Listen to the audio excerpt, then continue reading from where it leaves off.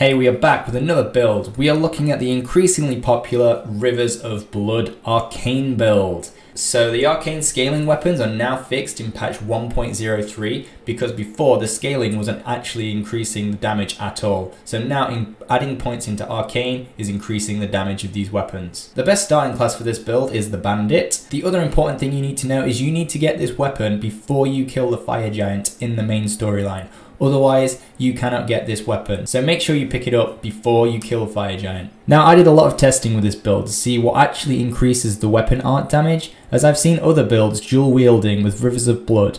But I can tell you, dual wielding or even two handing the weapon makes no difference to the weapon art attack. The only thing that can permanently increase the weapon art damage is upgrading your weapon with the smithing stones at the blacksmith. Using Ashes of War like Seppuku and dual wielding was a broken mechanic and has been fixed in patch 1.03, so it no longer grants any benefit to any other weapons. So, I can tell you that this, you do not need it. We are just going to be wielding the Rivers of Blood because we don't need the extra weight and it provides no extra benefit unless you're actually using the dual wielding stance which we are not going to be doing because we're going to be using the Rivers of Blood weapon art. So for this build, you're obviously going to need the Rivers of Blood plus 10. For the armor, I highly recommend getting the white mask, as it slightly raises attack power when there is blood loss nearby. This is a bleed build, so make sure you are putting everything into bleed that you can.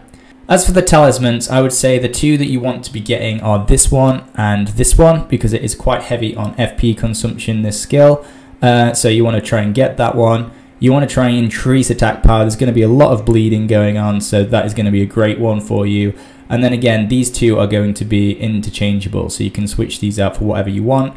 I just like them, but when you're getting into the higher levels, you might want to swap this out and just put more points into uh, mind, vigor, endurance, that kind of thing. And then this just increases your attack power, which is nice. Another very good addition to this build would be the Rotten Winged Sword Insignia Talisman which just increases damage again. So worth getting, but it's more for endgame builds, so I've left it out. Something else that you could go with as well is the Flame Grant Me Strength, but you need 15 faith to be able to use that, which will also increase the damage of this weapon. So with the actual stats, we have gone with a joint build of Arcane and Dexterity, because this weapon scales with Arc and Dex.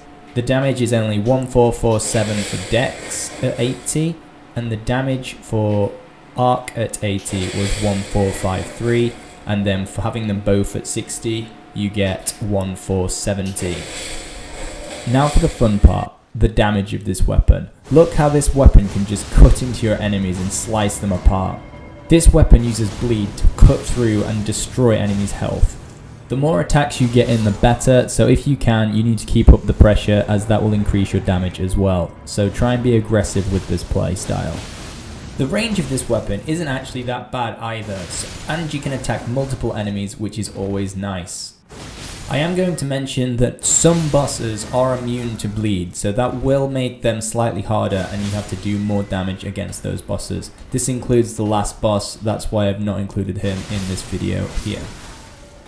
This next attack coming up will really show you the range of this attack, so just keep watching. Here,